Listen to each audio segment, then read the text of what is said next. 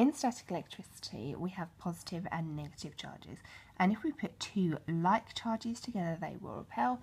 And if we put two opposite charges together, they will attract. So I'm going to try and demonstrate this to you using my son's train set because sometimes it can be quite hard to visualise.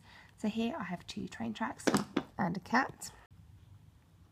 So if I push this train, you can see that it is repelling cat again the train in front of it. Not touching it, but it's making the train in front of it move. That is because there are going to be two like charges repelling each other. Give that a little bump.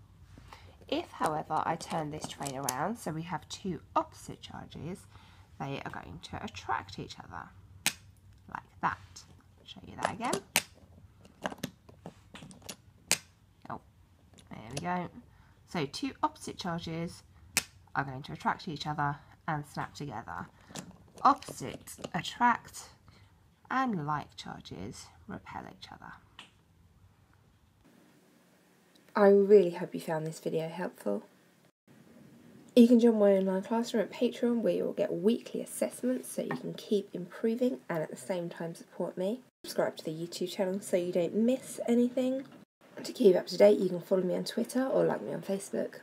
And for extra resources, blogs, and all of the videos in order, you can visit my website, primrosekitten.com. Thanks for watching, guys. I really hope you enjoyed it.